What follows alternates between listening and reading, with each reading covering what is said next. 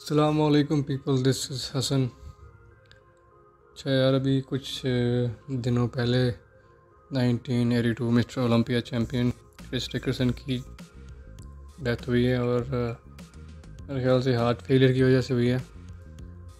और अभी कुछ अरसा पहले उसके काफ़ी दिन हो गए हैं अब तो। 2018 मिस्टर ओलंपिया शॉन रोडन की भी डेथ हो गई है। जो कि एक ट्रेजिक बात है। क्योंकि शॉन की एज अभी इतनी ज़्यादा नहीं थी और जो डेथ की कॉज है वो अभी तक क्लियरली डिस्क्लोज़ नहीं की गई कि मेनली डेथ की वजह क्या है।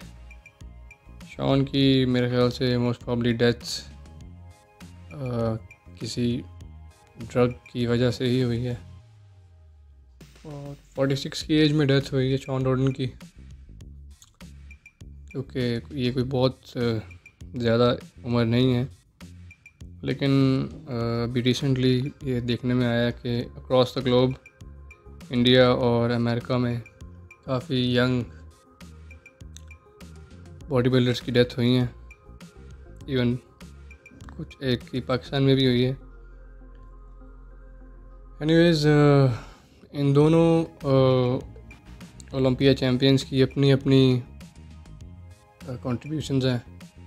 क्रिस टिकरसन 1982 में मिस्टर ओलंपिया हुए और इस टाइम पे वो ओल्डेस्ट मिस्टर ओलंपिया चैम्पियन थे most probably at the age of 43 और शॉन रोडन भी ऑलमोस्ट इसी एज में ओलंपिया चैम्पियन बने थे और सेकंड बॉडी बिल्डर थे, जो कि ओल्डेस्ट मिस्टर ओलंपिया चैम्पियन थे।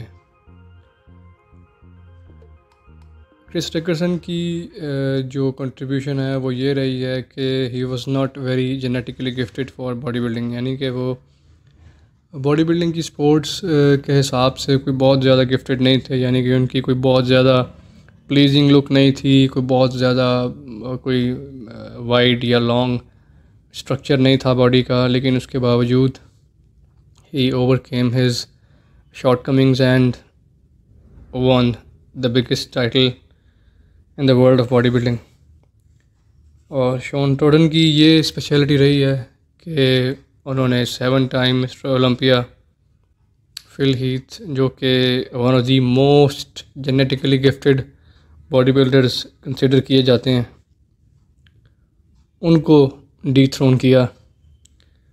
तो ये इन दोनों